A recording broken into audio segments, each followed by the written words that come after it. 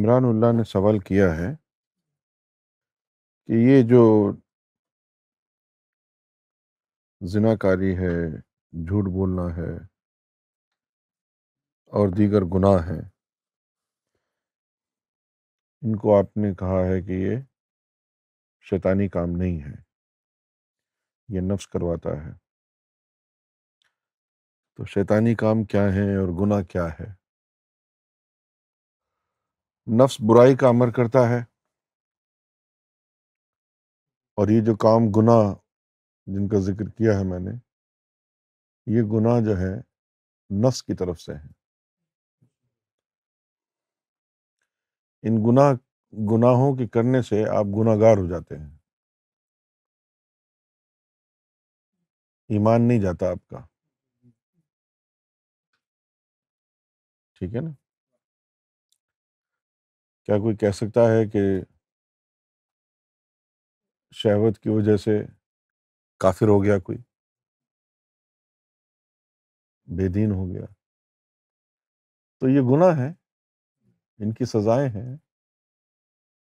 دین کی طرف سے، اللہ کی طرف سے۔ لیکن ان کاموں سے آدمی کا دین برباد نہیں ہوتا۔ دین کو برباد کرنے کے لیے اللہ تعالیٰ نے شیطان کو بنایا ہے۔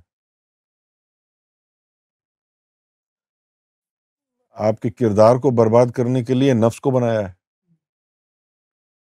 بھائی آپ الٹے سیدھے گناہ کریں گے تو آپ کا کردار برباد ہو جائے گا نا۔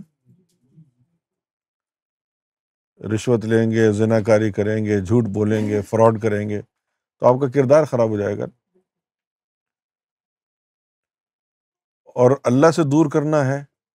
گمراہ کرنا ہے، تو وہ نفس بس کی بات نہیں ہے۔ کیونکہ نفس، لطیفہ نفس یہاں کی مخلوق ہے، عالم ناسود کی مخلوق ہے، وہاں تک جا نہیں سکتی۔ اس کے لیے جو ہے، اللہ تعالیٰ نے پھر مختلف شیاطین بنائے ہیں۔ وہ پھر انسان کو گمراہ کرتا ہے۔ اب گرنا گمراہ کرنے کا بھی جو ہے کوئی نہ کوئی طریقہ ہے نا؟ گمراہ کرنے کا بھی کوئی طریقہ ہے۔ وہ شیطان جو ہے، وہ بھی قوم جنات سے ہے، وہ آپ کی نسوں میں گھس جاتا ہے۔ آپ کی خون میں گھس جاتا ہے۔ آپ کے دماغ پر قابو پا لیتا ہے۔ اور نئی نئی تفاصیر قرآن کی آپ کو سمجھاتا ہے۔ نئے نئے فلسفے آپ کے ذہن میں ڈالتا ہے۔ نئی نئی چیزیں آپ کو دکھاتا ہے۔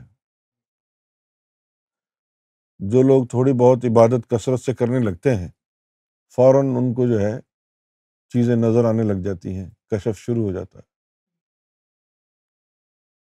اور اشارے ملنے لگ جاتے ہیں۔ وہ سارے اشارے شیطان کی طرف ہوتے ہیں۔ اب جیسے مرزا غلام احمد قادیانی تھا۔ ابتدائی طور پر کافروں والی کوئی بات تو نہیں تھی اس میں؟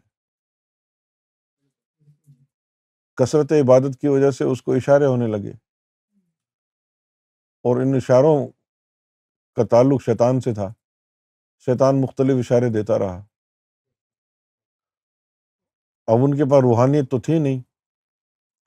اس لیے وہ ان اشاروں کو اللہ کا پیغام سمجھے۔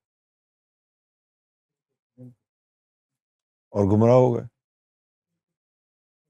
اپنے آپ کو عیسیٰ بھی کہہ دیا اپنے آپ کو نبی بھی کہہ دیا، پتہ نہیں کیا کیا کہہ دیا۔ اپنی دانست میں وہ پکے تھے کہ مجھے اللہ کی طرف سے الہام ہوا ہے۔ لیکن علم نہیں تھا روحانیت کا، اس کی وجہ سے وہ سمجھ نہیں سکے کہ وہ اللہ کا حکم نہیں، شیطان کی چال ہے۔ تو آدمی کو مختلف جو خیالات آتے ہیں، جن کو وسو سے بھی کہا جاتا ہے۔ وہ وسو سے بھی جو ہے وہ اللہ تعالیٰ نے آپ کے اندر ایک چیز رکھی ہے ہاتھی کے جیسی۔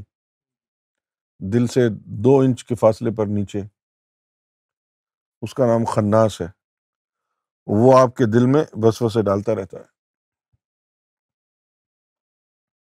پھر آپ لوگوں کے ساتھ اٹھتے بیٹھتے ہیں۔ ان کے خناس اور آپ کے خناس کا رابطہ ہوتا ہے۔ ان کے وسوسے آپ کے اندر ٹرانسفر ہو جاتے ہیں۔ اس لیے اللہ تعالیٰ نے مومنوں کو کہا تھا کہ تم منافقیوں کی صحبت اختیار نہ کرو، کہیں ان کے سینے کی آگ تم تک نہ پہنچ جائے۔ صحبت کا جو بڑا اثر ہے، وہ اسی وجہ سے ہے، اچھے آدمی کی صحبت میں بیٹھو گے تو اچھائی سیکھو گے۔ برے آدمی کی صحبت میں بیٹھو گے تو برائی سیکھو گے۔ یہ ایک عام سی تشریح ہے اس کی۔ لیکن اس کی باطنی تشریح کیا ہے؟ اچھے آدمی کی صحبت میں بیٹھنا اچھا وہ ہے جو اللہ کا ولی ہے، تجلیات جس پر گر رہی ہیں۔ اس کی صحبت میں بیٹھنے سے نور میسر آئے گا، خود بخود تمہارے نفس کے اندر تہارت آئے گی۔ اور جو منافق یا کافر ہوں گے، ان کے پاس بیٹھنے سے نار آئے گی۔ خود بخود تم رب سے دور ہونے لگ جاؤ گے۔ صحبت کے اثرات اس طرح نمودار ہوتے تو شیطان کا جو کام ہے، وہ انسان کو گمراہ کرنے کا ہے۔ کبھی مراقبوں کے ذریعے، کبھی خوابوں کے ذریعے، کبھی وسوسوں کے ذریعے۔ تو جو اللہ تعالیٰ نے فرمایا کہ جب تجھ سے کوئی غلط کام ہو جائے تو کہ یہ میرے نفس کا قصور ہے۔ کیونکہ نفس برائی کا امر کرتا ہے، ظاہر بات ہے، نفس ہی کرائے گا۔ اور جب نفس پاک ہو گیا تو پھر یہ نہیں کرائے گا نا۔ اب جب نفس پاک ہوگا تو یقیناً اللہ تعالیٰ کی رضامندی سے ہوگا، اس کے کرم اور فضل سے ہوگا۔ تو جب اس کے فضل سے تمہارا نفس پاک ہو گیا تو حاضم ان فضل ربی نیک کام کی توفیق بھی دے گا وہ۔ بھائی جب اس نے آپ کو نفس پاک کرنے کی سعادت عطا کی، ہمت عطا کی ہے، مرشد کامل عطا کیا، جس نے آپ کا نفس پاک کر دیا۔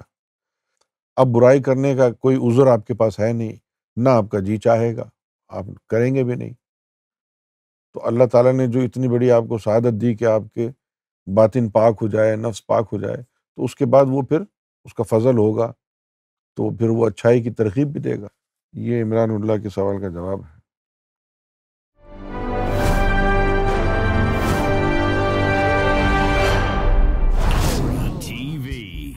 Bringing light love and peace in your life